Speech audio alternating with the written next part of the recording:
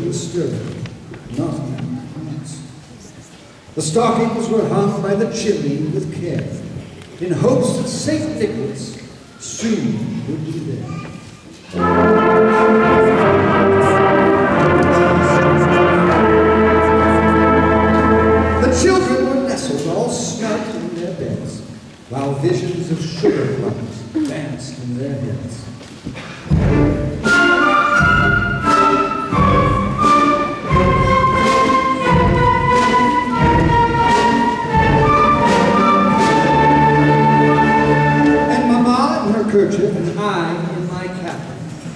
Just settled down for a long winter's nap.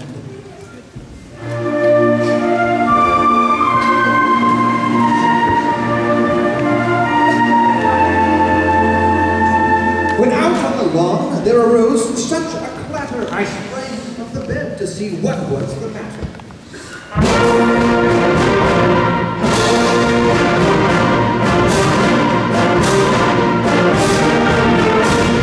Away to the window I flew like a flash, tore open the shutters and threw The moon on the breast of the new fallen snow gave the luster of midday to objects below.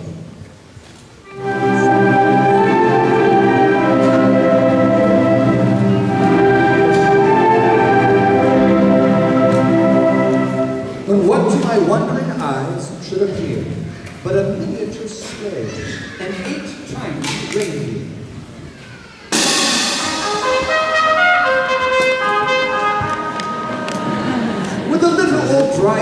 Lively and quick, I knew in a moment it must be Saint Nick.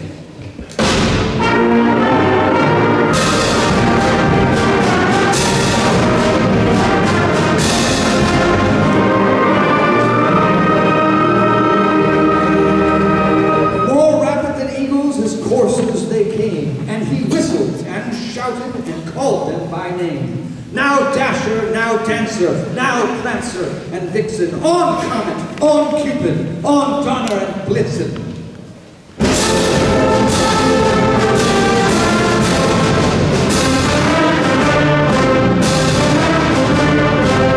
To the top of the porch, to the top of the wall. Now dash away, dash away, dash away all.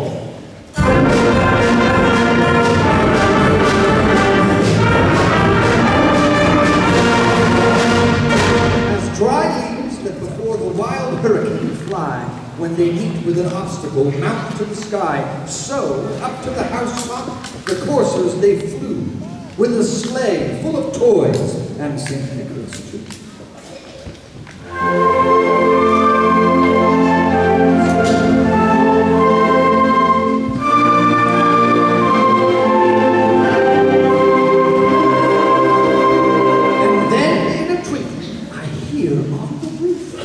the prancing and pawing of each little.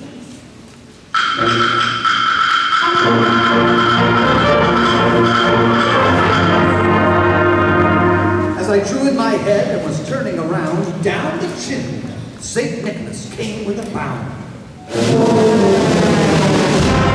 He was dressed all in fur, from his head to his foot, and his clothes were all tarnished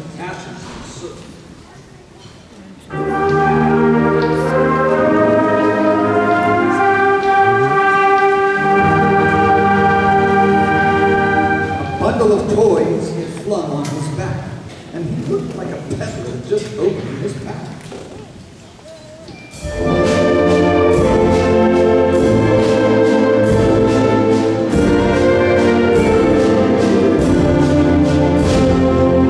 His eyes, how they twinkled.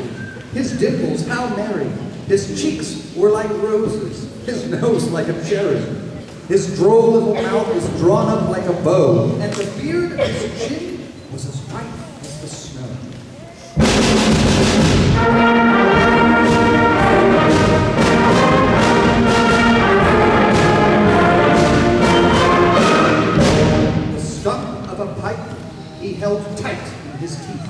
and the smoke, it encircled his head like a wreath. He had a broad face and a little round belly that shook when he laughed like a bowl full of jelly. He was chubby and plump, a right jolly old elf, and I laughed when I saw him, in spite of myself. A wink of his eye and a twist of his head, and giving a nod up the chimney. Excuse me. A wink of his eye and a twist of his head soon gave me to know I had nothing to dread.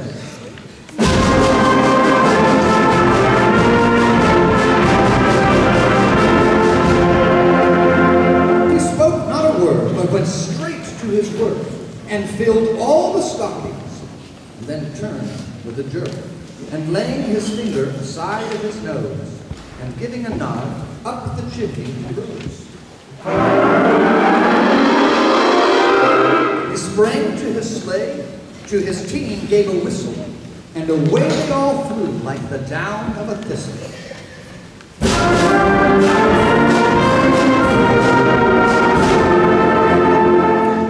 But I heard him exclaim, ere he drove out of sight, Happy Christmas to all, and to all